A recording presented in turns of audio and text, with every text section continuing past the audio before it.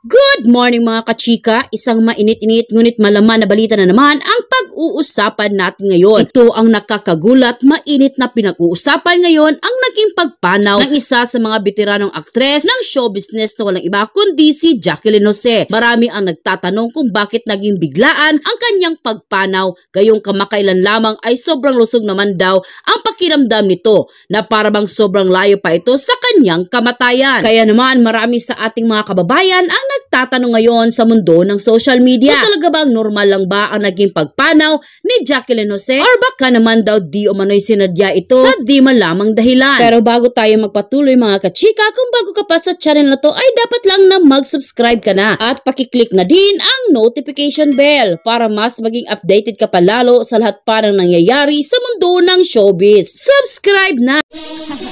Let's go.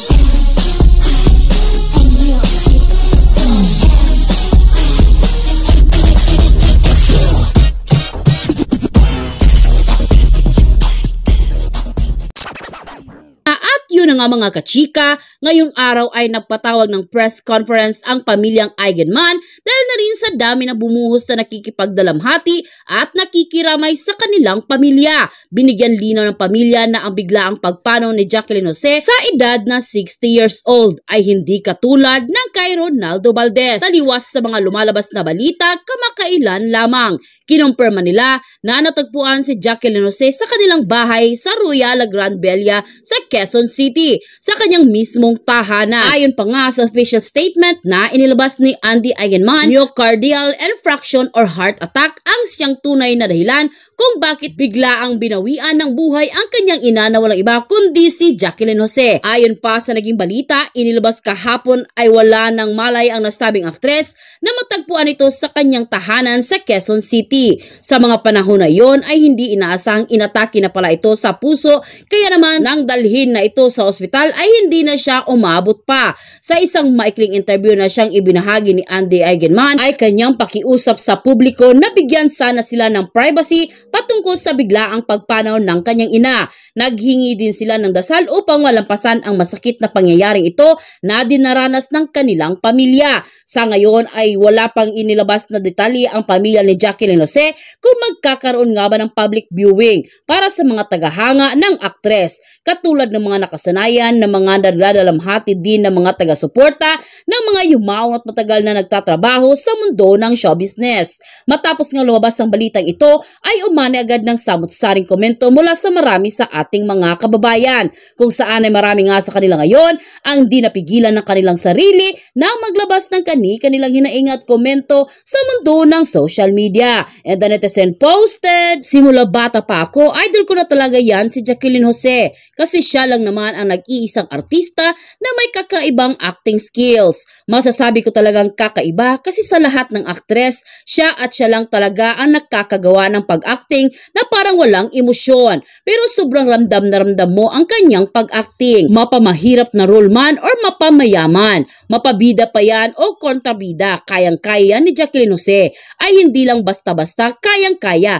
Talagang galing na galing siya sa kanyang ginagawang pag-arte. Kaya hindi ako nagtataka kung ilang beses na siyang nakukuha ng awards ng Best Actress of the Year. Kaya for me, masasabi ko na malaking kawalan si Jacqueline Jose sa mundo ng showbiz. Kasi nawalan na naman sila ng isa sa pinakamagaling na artista sa mundo ng pag-arte. Kaya sa pamilya ni Jacqueline Jose, condolence po. Isasama po namin kayo sa aming pagdarasal na sana ay malampasan ninyo ang sakit na dinaranas sa inyong pamilya sa pagkawala ni Jacqueline Jose. Sana naman bigyan ng pamilya ni Idol Jacqueline Jose na makita namin siya kahit sa huling sandali ng kanyang pagpapalagi dito sa mundo. Kasi idol na idol namin siya. Pero kung hindi talaga papayag ang kanyang pamilya, wala na kaming magagawa dyan. Kasi sila naman ang may karapatan kung ano ang gusto nilang gawin sa labi ni Jacqueline A. Pero sana naman payagan nila na mag-public viewing kahit isang araw lang kasi naging parte din naman siya ng buhay naming mga nag-iidolo sa kanya. End quote. Sa naging komento nga na ito na marami sa ating mga kababayan ay talaga namang kanilang pananawagan sa pamilya ni Jacqueline Jose ay sana naman daw ay payagan nila ang public viewing. Kasi ayon di umano sa kanila ay naging parte din naman daw di umano ng kanilang mga buhay ang isa sa pinakamagaling na aktres sa mundo ng show business. Na walang iba kundi si Jacqueline Jose. Dagdag pa ng marami sa kanila ay simula bata pa daw di umano si Jacqueline Jose ay idol na daw di umano nila ito. At alam na alam daw nila kung gaano kagaling ang aktres na ito. Kaya malaki daw di umanong kawalan sa mundo ng show business ang pagpanaw ni Jacqueline Jose dahil nabawasan na naman sila ng isa sa pinakamagaling na aktres sa mundo ng pag-arte. Ayon pa sa kanila ay taos puso daw di umano ang kanilang pakikiramay sa pamilya ni Jacqueline Jose at kanila daw di umano isasama sa kanilang mga dasal upang sa ganon ay malagpasan ng pamilya ng nasabing aktres ang sakit na kanilang dinaranas sa pagkawala ni Jacqueline Jose. Saan na ba si Daniel Padilla? Naku, eto na, gumagawa pa rin ng mga hakbang. Ang mga hakbang ito, pasulong, paurong. Naku, may pasulong, pero mas maraming paurong. Oo Ay, nga. kasi yung pasulong niya, hindi na umiigi. Oo, wala nang nakikinig. Walang nakikinig. Romel, ikaw ba, kahit sa panaginip mo lang, naisip mo ba na ganito ang hantong ang karera ni Daniel Padilla? Yung nararamdaman ko tayo Daniel Padilla, yung pinanonood ko siya, sabi ko, oo, may katapusan lahat ng mga inaarte niya, yung mga kinikilos niya, may katapusan talaga lahat eh. Ito, dumating tayo sa puntong, isang iglap lang, ito na yung mga... Kaya dapat binabantayan talaga ang kilos. Yoo. Isa pang nakaapekto talaga sa kanya, yung kay Alden Richards. Isa pa no? yun, di ba? Oo. Kaya dapat sa mundong ito, dapat good deeds. Gumawa Oo. ka ng mabuti para ang balik din ito, Oo. mabuti. Sabi nga, ang mabuting gawain, malaki o maliit, naaalala yan. Mm. Oo, Di ba? Tinatandaan, nagmamarka. Yung kay Alden po, kasi alam naman natin yung Oo. kwento nung gawin ni Alden at ni Catherine Bernardo ang Hello Love Goodbye sa Hong Kong. Mabait lang talaga si Alden Richards. eh. naman. Wala tayong narinig mula sa kanya. Ang Wala. kwento, mga kasamaan. Oo, di ba? Yung production people talaga. Isipin mo yung pakiramdam ng taong, yung ano na nga siya sa mga kasama niya, di ba? Siya yung dayo dun, Oo. kumbaga, di ba? Oo, oo. Star Cinema yun Oo, eh. Star Cinema yun. Tapos ang mga staff, dapat Star Cinema, siya yung dayo, pero tapos dinaan-daanan ka ng isang, Mm. ano yung pakiramdam, magsusubong ka ba? Kim-kim na lang. Lalabas ang araw. Dati kang panahon, ito yun. Oo, yun yun. Yun namang sa'yo, yung kapag nakikita mo siya sa mga shows na may angas, ano,